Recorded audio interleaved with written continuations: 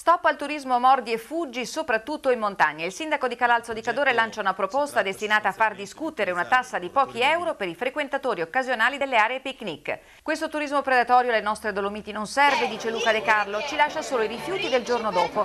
Credo sia finalmente ora di interrogarci su che turismo vogliamo per il Cadore e se non sia giusto elaborare un sistema affinché i visitatori mordi e fuggi contribuiscano anche economicamente al miglioramento dell'ambiente e delle strutture di cui oggi approfittano senza dare nulla in cambio.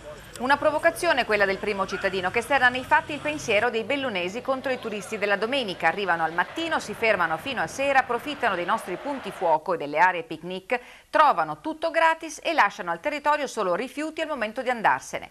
A chi solleva l'eccezione che in un momento di crisi una tassa di scopo non serve, De Carlo risponde che il Cadore non ha nemmeno bisogno di un turismo senza benefici e raffronta il turismo di montagna con quello sulle spiagge. Al mare si spendono decine di euro per ombrelloni e lettini, si paga il parcheggio e si va al bar.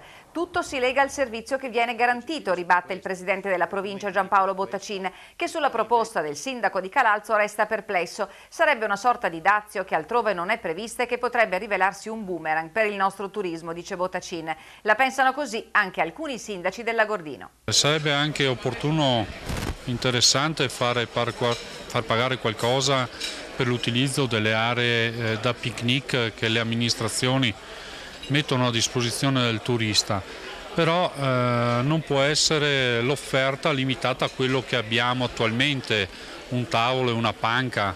Le nostre zone hanno, soffrono di una mancanza di ospitalità e quindi partire dal, dal far pagare una, così una tassa per le occupazioni di suolo, per i picnic mi sembra un po', con tutto il rispetto per chi ha fatto la proposta, mi sembra un po' partire dal lato opposto del problema. Se dobbiamo incominciare già a pensare di far pagare tasse prima è sicuramente meglio dare dei servizi e poi eh, ragionarsi sopra in futuro, insomma, vedendo anche gli sviluppi della situazione.